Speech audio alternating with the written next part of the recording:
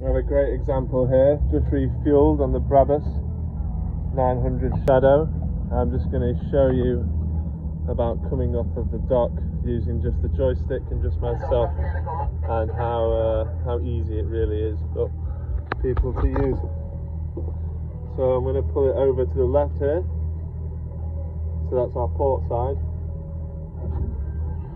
You'll see the engine separate. I'm going to slowly come away here from the dock very nicely and in control.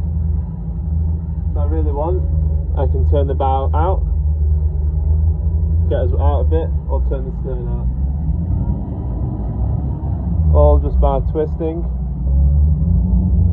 and twisting. Going forward, pushing it forward, and I'm going to go ahead. Very simple and easy, just on the joystick and uh, as you can see I've come away very nicely and very calmly from the dock here in Ibiza. So yeah great bit of kit they've added to the Brabus and they're very user friendly so here I'm going to go and turn with the joystick try and get it in a good angle. Just turning it slightly here. The back's going to come round nicely so is the front. You see I'm coming through this channel really well. And very, very easy. Great bit of kit.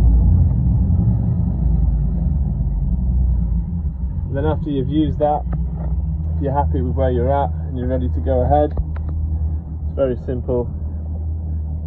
Click ahead and you're going to go ahead. It'll trim down automatically and you can travel now and pick up the speed.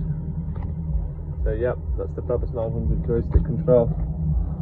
Um, very, very good, highly recommended to use if you're not the most experienced skipper.